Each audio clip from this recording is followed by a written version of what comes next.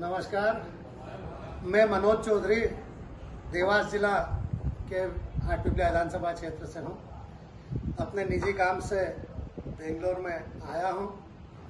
मुझे अभी पता चला है कि माननीय दिग्विजय सिंह जी और उनके साथ में कुछ मंत्री या अन्य लोग मुझसे मिलने के लिए आना चाहते हैं। मैं इसके पूर्व में भी एक वीडियो जारी कर चुका हूँ, जिसमें मैं कह चुका हूँ कि मैं किसी को भी अधिकृत नहीं करता हूँ मिलने के लिए। साथ ही न कोई मेरी जो भी शिकायतें हों, उन शिकायतों को भी करने के लिए मैं किसी परिवार के व्यक्ति को भी अधिकृत नहीं करता हूँ। सो, मेरे पूर्व के वीडियो और वर्तमान में भी वीडियो इसलिए जारी किया जा रहा है आपके लिए कि प्रशासन भी इस बात को समझ ले, मैं उनको आवेदन कर चुका हूँ कि मैं किसी से नहीं मिलना चाहता हूँ तो किसी के भी दबाव में ना आए। और आप अपना काम स्वतंत्र रूप से करें।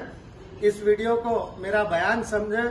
मैं आप सभी साथियों से ये निवेदन करता हूँ कि मैं जो लड़ाई लड़ रहा हूँ, वो लड़ाई मेरे क्षेत्र के लिए है, मेरी क्षेत्र की जनता के लिए है, और ये लड़ाई मैं जारी रखूँगा जब तक कि मैं क्षेत्र की जनता को न्याय नहीं दिला पाऊँगा नमस्कार, धन्यवाद।